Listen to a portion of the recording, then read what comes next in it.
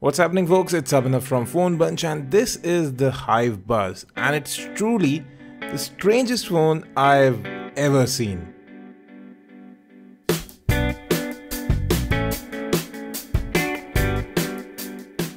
So before we get to why this is a very strange phone, let me talk about specs. So you have a 5.5 inch 1080p display, 2.5D curved glass on top, you have Android 5.1 running on the device with MediaTek MT6753, 3 gigs of RAM, 16 gigs of onboard storage. We'll also get a 32 gig micro SD card inside the box. Now the strange things start right here. You can see those buttons.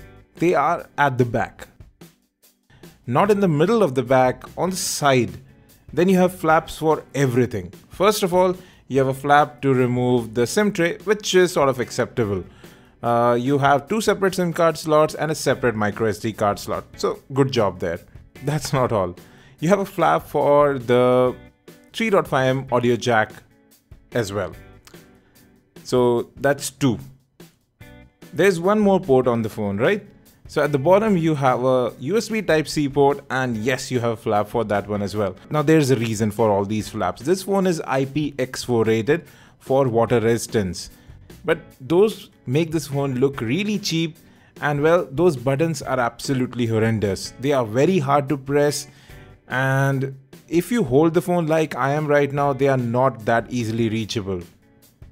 So very poor design choices here. The back cover does look a bit cheap as well as does the entire plastic frame of the device. It just doesn't speak quality. Now between the fingerprint sensor and the camera module there is a hexagonal light, which is the notification LED. Again, it is on the back of the device instead of the front. So weird decision number I have forgotten by now. The display however does have decent viewing angles and good color reproduction. Moreover, this phone is running on stock Android, but it is Android 5.1 Lollipop, so it is quite a bit behind. But the company says that they are working on a Marshmallow update. But given that this is a new brand, they should have gone with Android Marshmallow out of the box. Now out of the 16 gig storage, you'll get about 10 odd gigs when you get the device.